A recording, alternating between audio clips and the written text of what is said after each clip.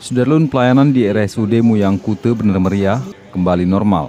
Para dokter spesialis, perawat, dan seluruh staf di rumah sakit tersebut kembali melakukan tindakan pelayanan kepada pasien. Sebelumnya, seluruh para medis itu melakukan mogok massal yang berakibat pasien terpaksa dipulangkan ataupun dirujuk ke rumah sakit lain di Kabupaten Aceh Tengah.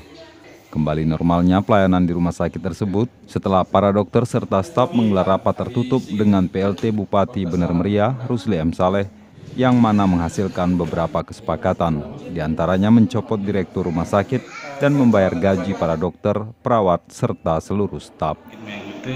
Hari ini sudah berjalan dengan baik dan uh, seluruh pelayanan baik itu perawat, dokter juga sudah menjalankan fungsinya sesuai dengan uh, tugasnya masing-masing. Artinya dari kemarin sore sampai hari ini ada 8 pasien. Uh, untuk yang di ruangan uh, itu tidak termasuk ruang ke kandungan atau kebidanan. Kebidanan ada satu. Jadi total sudah 9 pasien. Oke, Pak. Uh, masalah gaji. Kemarin uh, langsung kami hubungi Dinas Keuangan. Dia sudah mengirim ke rekening uh, yang rumah sakit Munyang itu. Mudah-mudahan Senin sudah terbagi semua.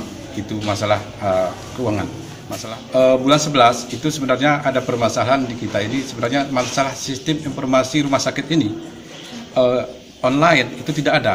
Tahun ini sudah diadakan jadi ke depan masalah BPJS pun tidak akan terkendala lagi. Karena untuk BPJS uh, sudah dianggarkan untuk sistem informasinya karena dia mengadakan online. Selama ini rumah sakit Kute ini uh, BPJS ini hanya manual kirim ke Semawi. Jadi verifikasinya manual semua. Jadi agak lama. Jadi dari Redelong, Muslim Arsani, Serambion TV.